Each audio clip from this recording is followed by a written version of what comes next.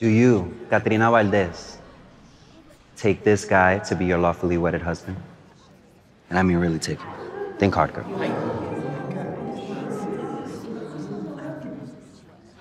I do. And do you, some guy, take Kat to be your lawfully wedded wife?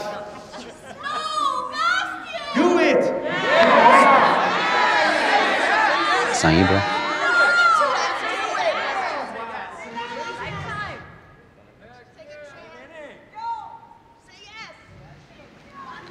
Okay. We'll take okay.